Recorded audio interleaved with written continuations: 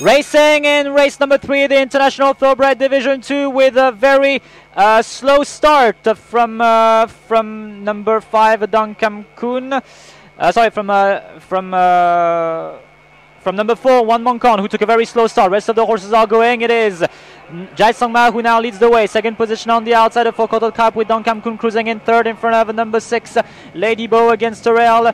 Follows Rachel. Two lengths back is number 12, Tepraxa. Far back is uh, number four, One Moncon, who completely blew the start.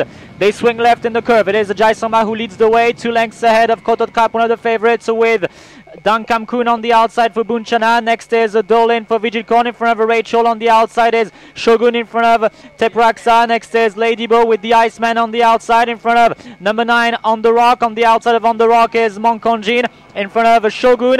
Next is a target with one Moncala to the field.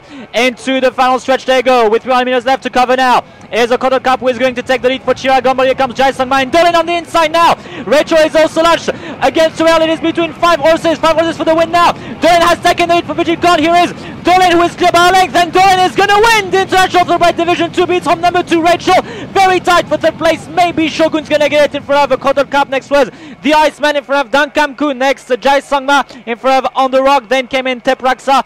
Last home after blowing the start was number 4, One Moncon.